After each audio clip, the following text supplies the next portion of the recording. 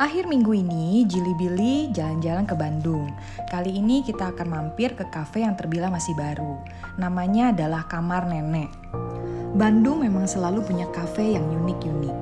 Jadi alamatnya berada di daerah Cipaganti nomor 150. Tempatnya memang agak susah dicari. Setelah Waze Kamar Nenek, lalu kita tanya ke penjaga sapamnya yang di depan, di mana kamar nenek dan diarahkan ke belakang melewati Oyo.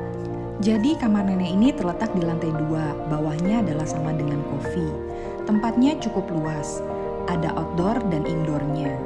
Jadi ada beberapa tema di sini kalau menurut aku. Dan yang pasti setiap sudut itu bisa dijadikan untuk spot foto. Ini adalah Maniki Neko, spot foto favorit di sini. Kita masuk ke kanan, ada minibarnya.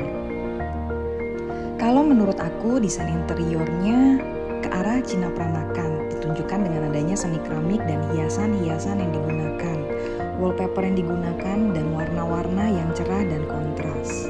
Di sebelah ruangan ini ada tangga ke atas seperti mezanin. Yuk kita lihat. Step tangganya agak tinggi-tinggi jadi hati-hati untuk anak-anak yang naik ke atas. Wallpapernya seperti kasur-kasur di kamar nenek zaman dulu. Dan ini juga ada yang warnanya biru. Dan ternyata tempat duduknya juga kasur-kasur kapuk yang kayak di rumah nenek dulu. Dan kalau dari pintu masuk ke kiri, ruangannya adalah seperti ini. Ini seperti ruang tamu kalau aku pikir. Untuk pilihan makannya, aku direkomendasikan oleh stafnya, yaitu nasi goreng cikur dan ayam asam manis. Pohon pete ini juga menjadi daya tarik di sini.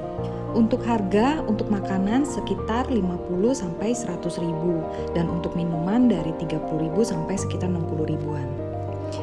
Untuk minuman, aku memesan mocktail yang favorit di sini, jadi campuran antara lemon dan soda.